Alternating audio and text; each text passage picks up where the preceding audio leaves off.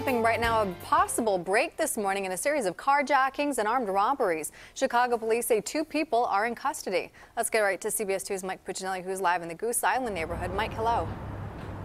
Hi, and that last carjacking happened late last night right here on Racine Avenue, and police say charges may be announced a bit later on today in that case.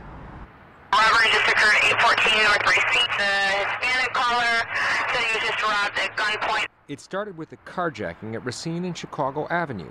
Police responded and spoke with victims in the Goose Island area. Then other officers already on alert could be heard on the police radio talking about Chicago's rash of carjackings. Yesterday we had uh, four jackings and six armed robberies. Looks like the same crew back tonight. Then a break when the stolen Jeep was spotted by officers who gave chase. Headed to the Eisenhower, westbound. The suspects weren't on the Ike for long before they crashed into another vehicle and then into a wall.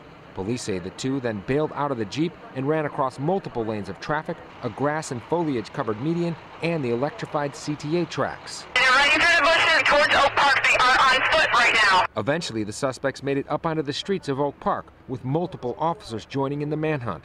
Here's how it sounded as officers zeroed in on one suspect. He's in between the house and the bushes. You're creeping up on him. Then, less than 20 minutes after the chase began, an extended clip weapon had been recovered, and the two suspects were in cuffs. To confirm, we do have two in custody, and they were the only two that were in the vehicle. Last night's armed carjacking was one of at least six that happened in the city yesterday. While it's not known whether those arrested last night are connected to the other carjackings, community activist Andrew Holmes says one thing seems clear. They're going to do what they do to get some money. And it's just as simple as that. Bad choice, wrong decision.